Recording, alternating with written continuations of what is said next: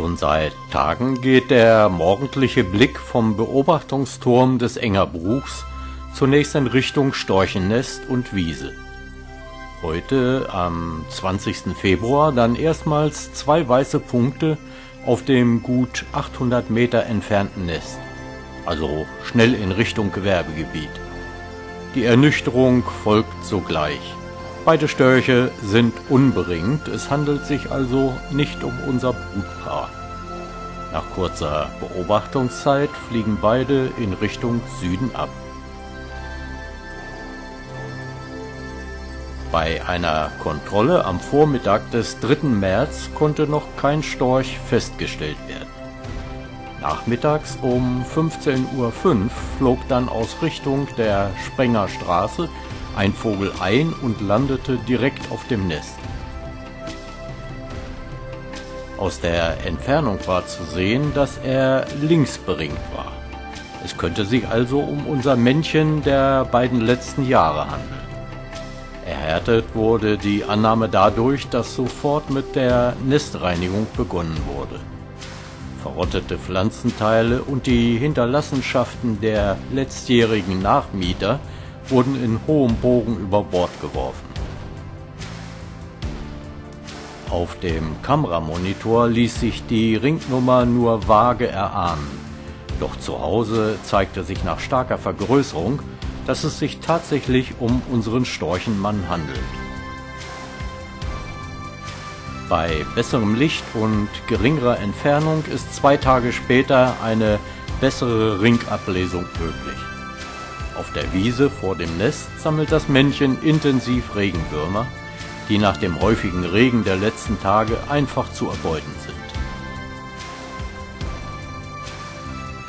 Auf dem Nest wird intensiv Gefiederpflege betrieben und weiter aufgeräumt. Schließlich soll die Wohnung bei Ankunft des Weibchens einladend wirken.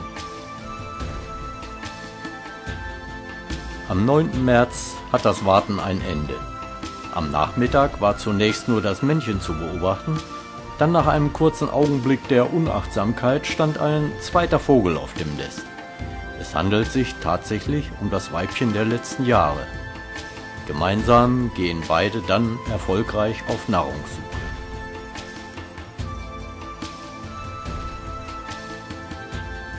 Zunächst wechselte das Männchen die Wiese und kurz darauf folgt sie hält aber auf dem trennenden Zaun eine kurze Ruhepause. Mitte März haben sich durch anhaltende Regentage auch in der Nähe der Nisthilfe große Blenken gebildet.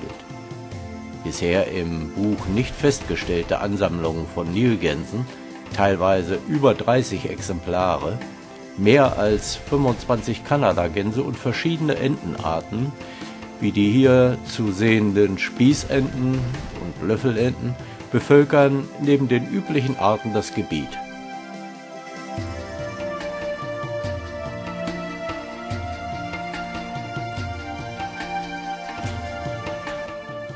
Schon seit einigen Tagen liegt eine verendete Gans in der Blenke. Mit ablaufendem Wasser zieht sich der ortsansässige Mäusebussard den Kadaver ins Trockene und hat einige ausgiebige Mahlzeiten. In der Natur geht nichts verloren. Trotz des nicht einladenden Wetters bauen unsere Störche weiter fleißig am Nest. Wie schon in den beiden letzten Jahren übernimmt das Männchen den Hauptanteil beim Sammeln und Eintragen des Nistmaterials. Das Weibchen hilft aber beim Verbau der Materialie.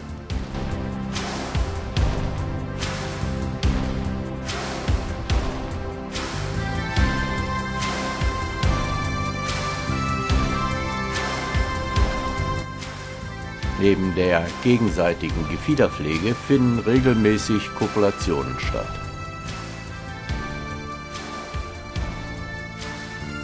Ende März ist festzustellen, dass sich die Störche bei uns offensichtlich wieder wohlfühlen. Das Weibchen nutzt gelegentlich den Hochspannungsmast an der Spedition für Ruhepausen und zur Gefiederpflege. Der allgemeinen Vogelbeobachtung vom Turm des Engerbuchs aus fiel mir auf, dass ein Storch den auf dem Nest stehenden attackierte. Es handelte sich um einen dritten Vogel, der schon mehrfach im Gebiet beobachtet werden konnte. Sofort stieg unser zweiter Storch von der Wiese auf und gemeinsam mit dem Partner wurde der Fremdling vertrieben. Eine Eiablage wird nicht mehr lange auf sich warten lassen. Wann diese erfolgt ist, kann nur grob geschätzt werden, zumal ich Anfang April für eine Woche zur Vogelfotografie auf Norddeutschlands nördlichster Insel verbrachte. Nach der Rückkehr war das Nest durchgehend von einem Vogel besetzt. Die Brut hat also begonnen. Weiterhin wurden Reinigungsarbeiten durchgeführt. Auffällig war, dass der zweite Vogel meist auf Futtersuche auf den nestnahen Wiesen festgestellt werden konnte. Also nicht viel Aufregendes für den Beobachter. Dagegen wurde es im ostwärtigen und mittleren Bereich des Bruchs jetzt hochinteressant. Die Dorngrasmücken warben mit ihrem Gesang um einen Partner, die Rohrammer war wohl schon weiter und sammelte Nistmaterial. Ebenso verhielten sich die Goldammern. Ab dem 20. April erfolgte ein größerer Einflug der Braunkehlche. Diese kleinen Vögel stellen schon hohe Ansprüche an den Fotografen. Etwa zur gleichen Zeit ließen sich für einige Tage mehr als 25 Kampfläufer auf der Kranichwiese nieder und stärkten sich für den Weiterflug in ihre Brutgebiete. Ebenso konnten auffällig viele Buchwasserläufer festgestellt werden, meist in Gemeinschaft mit den Kampfläufern. Die Anzahl der Jungvögel bei den Wasservögeln konnte ebenfalls begeistern. Begonnen haben die Blässhühner mit den pankerartigen Küken, weiter ging es mit den Graugänsen, die trotz der Störungen durch das brütende Schwanenpaar Junge auf das Wasser brachten. Ebenso war es bei den Stockenten und den Kanadagänsen im westlichen Buchbereich.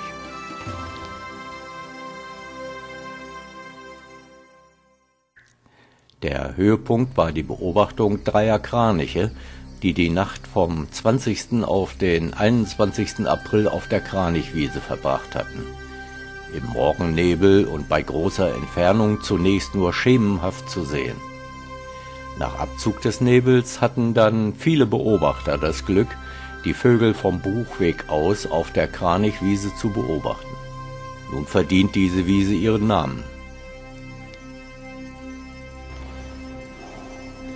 Obwohl die Brutzeit in der zweiten Maiwoche wohl enden dürfte, wird am Nest weiter gebaut.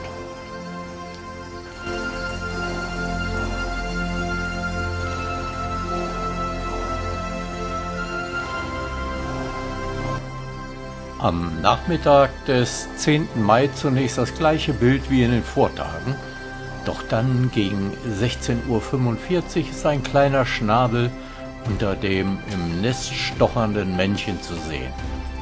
Der Schlupf des Jungen kann schon am 7. oder 8. Mai erfolgt sein. In den ersten Tagen schauen die Jungen in der inzwischen tiefen Nestmulde kaum hervor.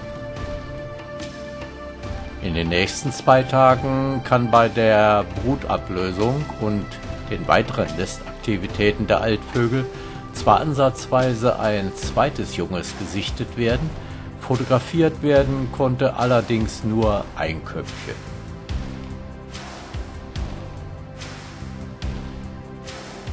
Dann am 14. Mai in den frühen Morgenstunden die Sicherheit. Mindestens zwei Junge sind geschlüpft. Zwei Tage später zeigte sich auch das dritte Junge für einen kurzen Augenblick. Leider reichte es nur für einen Bildausschnitt aus einem Video.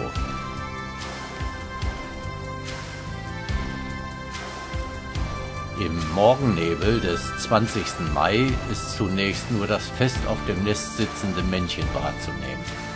Später bei der Ablösung durch das Weibchen sind drei Junge zu sehen, die inzwischen deutlich an Größe zugelegt haben. Beim Wachsen kann man fast zuschauen. Einige Tage später ist wieder ein kräftiger Schub zu verzeichnen. Wie tief die Nestmulde ist, kann man hier gut erkennen. Die Jungen sind praktisch nicht zu sehen und das, obwohl sie inzwischen beachtlich gewachsen sind.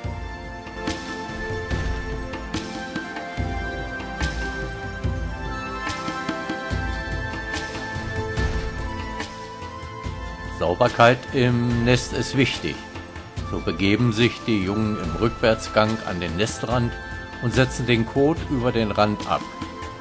Zur Stärkung der Muskulatur werden nun häufiger Ruderbewegungen ausgeführt.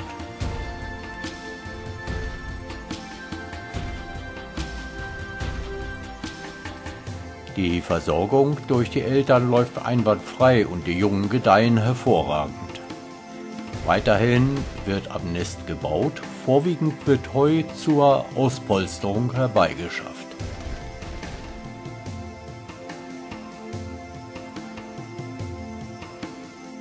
Mitte Juni werden im Randbereich des Engerbruchs die ersten Wiesen gemäht und bescheren den Störchen zusätzliche Nahrung durch aufgescheuchte und verletzte Mäuse.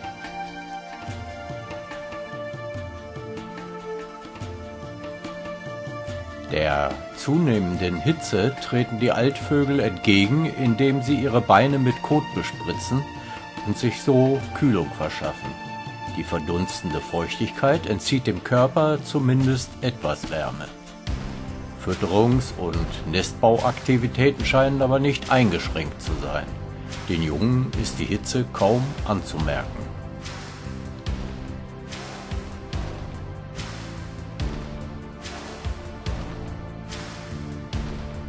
Bisher ist die Brut und Aufzucht bei den Störchen im Engerbruch reibungslos verlaufen. So sieht es auch am 26. Juni um 6 Uhr morgens aus. 25 Minuten später kommt der Storchenvater mit einem Bündel Heu der gestern gemähten Wiese auf das Nest geflogen und legt das Material zur Auspolsterung der Nestmulde ab.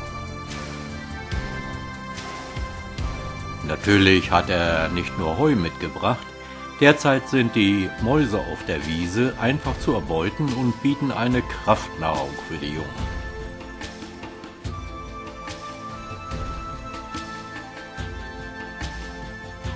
Zwei Minuten hält der Altvogel sich auf dem Nest auf, um dann abzufliegen und auf der angrenzenden Wiese weiter Beute zu machen dauert nur eine gute Stunde und der Vater kommt wieder mit Nachschub angeflogen.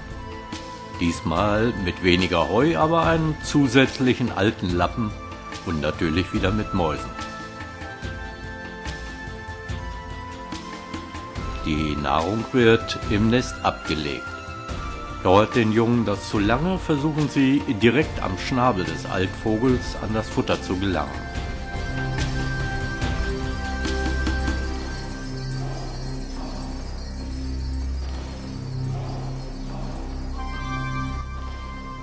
Das Weibchen ist nicht untätig und bringt eine Weile später das Frühstück.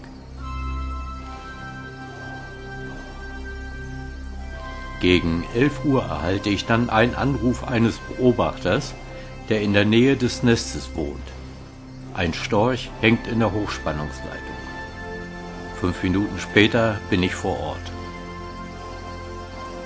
Es bietet sich ein Bild des Grauens. Unser Storchenmännchen hängt tot zwischen den Isolatoren am Mastausleger und das Weibchen sitzt oben auf der Mastspitze. Abwechselnd klappert es, schaut zum Männchen herab und zeigt das typische Übersprungsverhalten, das sich hier durch intensive Gefiederpflege äußert. Bei einem Anruf beim Energieversorger wird mir zugesichert, schnell jemanden zu schicken, der sich die Situation anschaut, um entsprechende Maßnahmen zu treffen. Ebenso werden die biologische Station Ravensberg und einige Privatpersonen unterrichtet. Die große Sorge ist, wann erfasst das Weibchen die Situation und verlässt den Mast, um Nahrung für die Jungen zu suchen. Gegen 18.30 Uhr kann ich die Storchenmutter auf der Wiese bei der Nahrungssammlung beobachten. Nach 19 Uhr und dann später um 22.20 Uhr fliegt sie auf das Nest und bringt den Jungen Futter.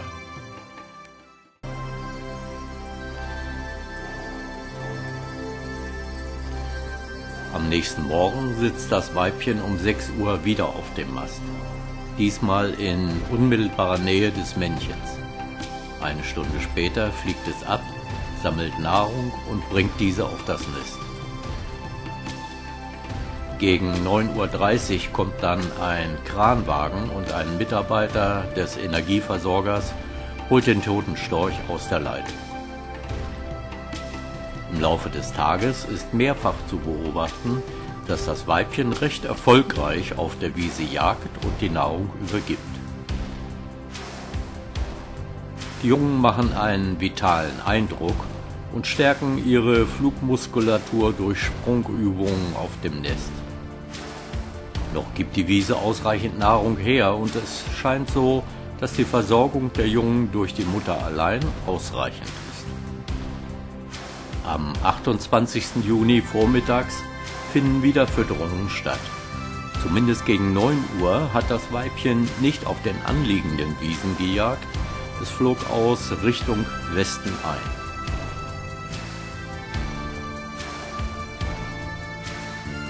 In den Folgetagen nimmt die Trockenheit zu und das Weibchen sucht die Nahrung nicht mehr in Nestnähe.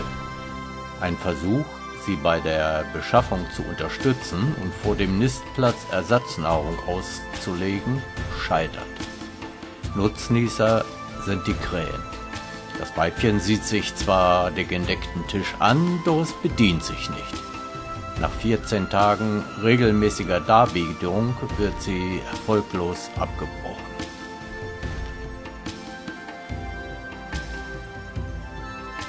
Anfang Juli sind die ersten Flug- oder besser Sprungversuche festzustellen.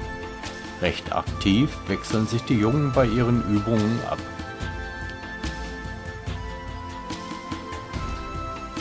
Es ist schon erstaunlich, wie die Mutter trotz weiträumiger Futtersuche die Versorgung der Jungen zuverlässig durchführt.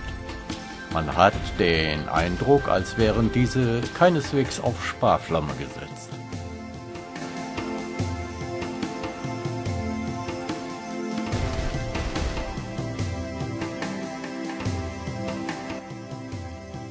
Am 6. Juli steigen zumindest die beiden älteren Jungvögel schon bis fast zwei Meter über die Nestmulde auf. Der jüngste schaut noch neidisch zu, doch unterernährt scheint auch er nicht zu sein.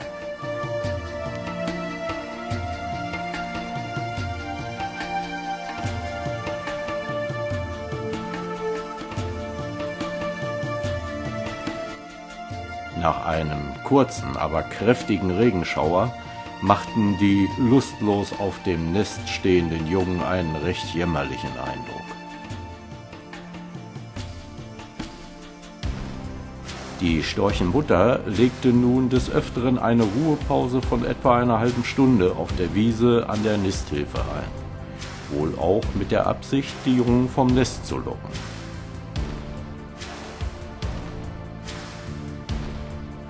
Nach wie vor flog sie aber auch den nahestehenden Hochspannungsmast an und saß in unmittelbarer Nähe des Ortes, an dem das Männchen zu Tode kam.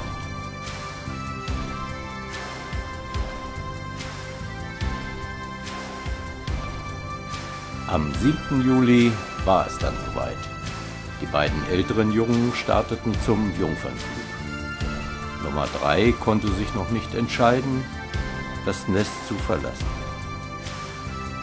Er wartete mehr oder weniger geduldig auf die Rückkehr der Geschwister. Zunächst kehrte ein Junge zurück, danach flog die Mutter auf das Nest und forderte den noch fliegenden zweiten Jungvogel durch Klappern auf, ebenfalls zu landen. Geschafft. Und gleich geht es wieder weiter auf Nahrungssuche.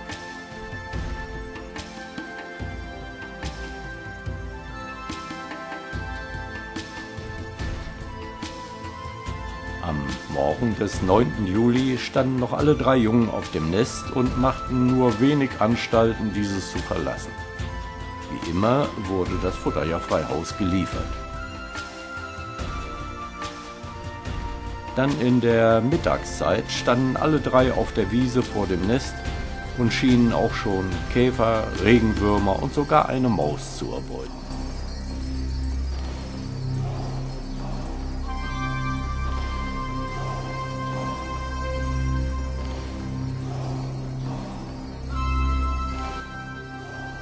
Ist also davon auszugehen, dass die tragische Situation durch den Tod des Männchens doch noch ein glückliches Ende nimmt.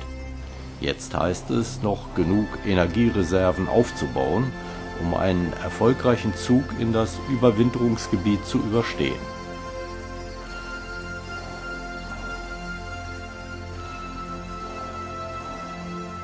Schon des Öfteren war im Gebiet ein Fremdstorch zu beobachten, der sich sehr interessiert an unseren Störchen zeigte.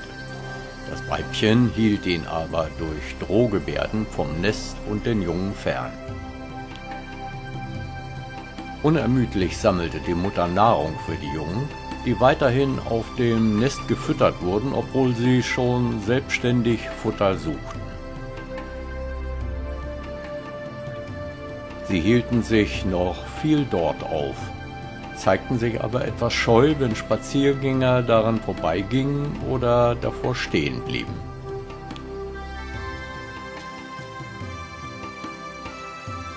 Als Ansitz diente der Hochspannungsmast am Umspannwerk für den Beobachter immer ein etwas ungutes Gefühl.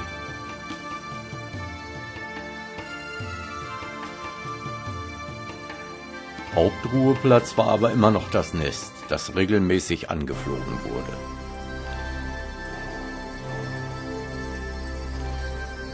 Am 18. Juli war es dann soweit. Alle drei Jungstörche saßen auf dem Hochspannungsmast und beobachteten einige hoch über dem Gebiet kreisenden Störche. Nach einer Weile erhoben sie sich, drehten einige Runden, schraubten sich höher und schlossen sich den anderen Störchen an. Die Mutter versuchte durch Klappern die Jungen zurückzulocken, vergeblich. Das waren die letzten Aufnahmen unserer Jungstörche. Viel Erfolg beim Flug ins Überwinterungsgebiet.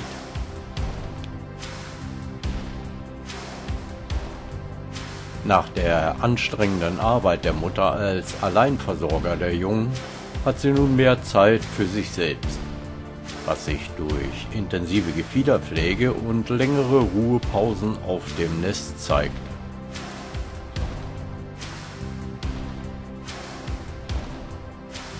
Weiterhin nutzte die Störchen das Nest zur Übernachtung, flog aber meist erst kurz vor Sonnenuntergang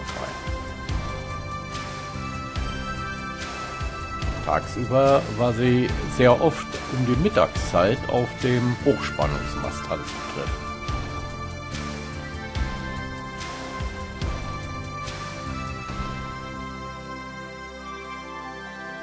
Es gehört dazu, unsere Störche zumindest einmal im Jahr bei Vollmond zu besuchen. Allerdings spielten im August Mond und Wolken nicht so mit, wie man es sich wünscht. Aber auch solche Augenblicke haben ihren Reiz. Der bereits erwähnte Fremdstorch wird inzwischen von unserem Weibchen nicht mehr abgewiesen. Er darf sogar mit ihr auf dem Nest übernachten. Am 28. August reichte das Fotolicht noch aus, um die Situation festzuhalten.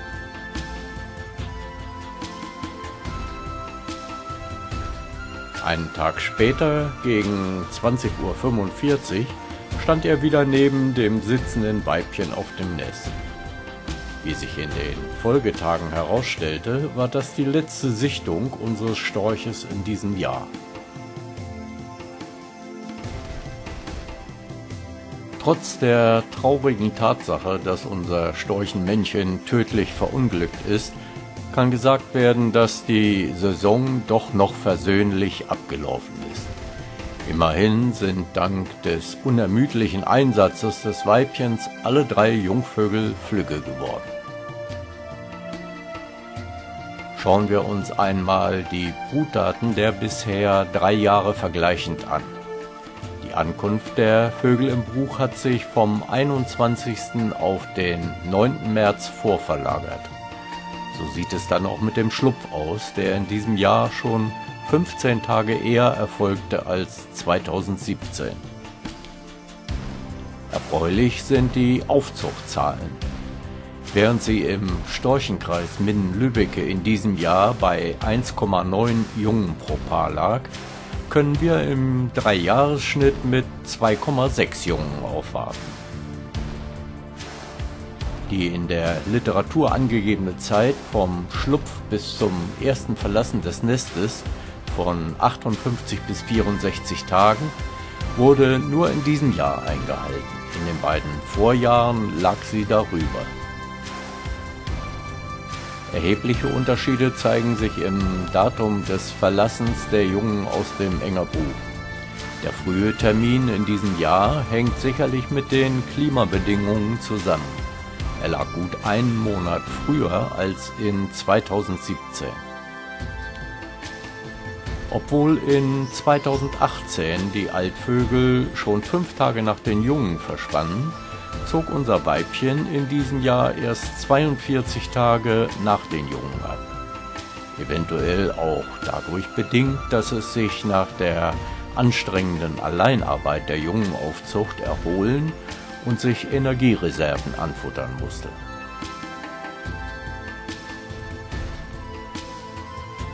Spannend für das nächste Jahr bleibt, ob der Storch, wohl mit Sicherheit ein Männchen, der sich mit unserem Weibchen angefreundet hat, zu uns zurückkehrt und dann mit dem hoffentlich ebenfalls eintreffenden Weibchen für eine Fortsetzung erfolgreicher Storchenbruten im Engerbuch sorgt.